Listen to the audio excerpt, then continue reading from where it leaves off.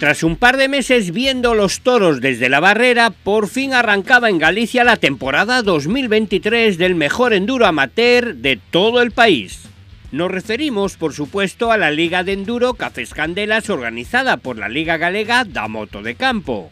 Un certamen muy asentado en Galicia que en este 2023 alcanza nada menos que una década de vida. Lo hace además con muchas novedades y con la inclusión de nuevas categorías. En la jornada del sábado, las especiales y la crono eran para los más pequeños y como siempre, no defraudaban.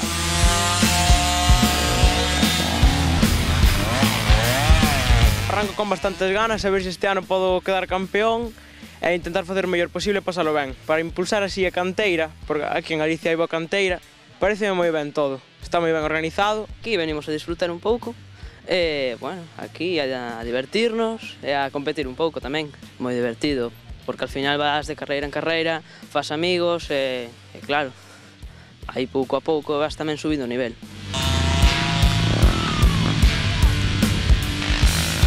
Cada vez más competitivos, los pequeños del mejor enduro amateur de todo el país dejan claro que en Galicia hay mucha cantera. Así que daba la clasificación.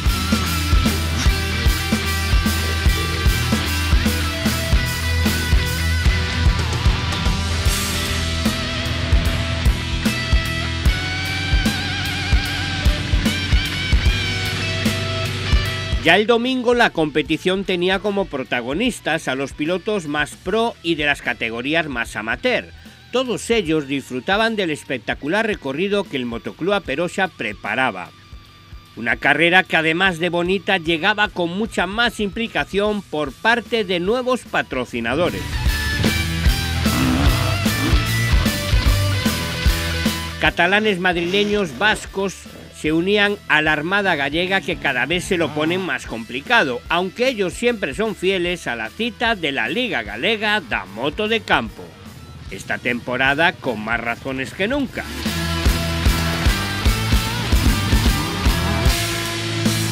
Pode disfrutar da moto polo monte gracias á boa organización de, toda, de todo o equipo da Liga de Moto de Campo.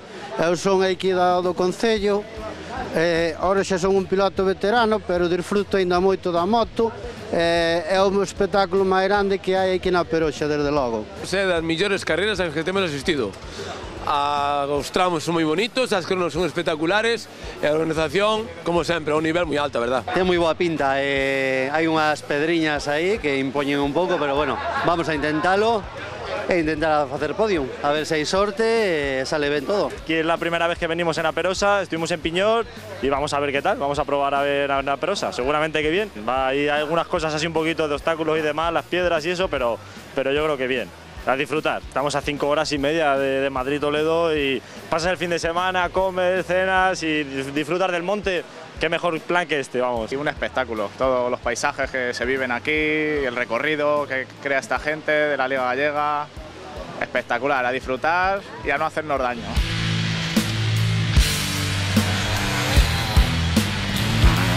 En un fin de semana totalmente road se reunían 300 pilotos, 200 en enduro y 100 en trial. Eso demuestra que Galicia y España quieren moto de campo.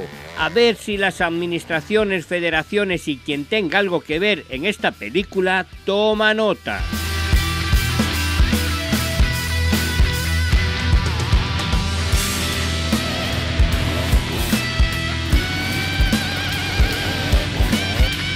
Así quedaba la clasificación de las distintas categorías en esta cita inaugural del trofeo Cafés Candelas.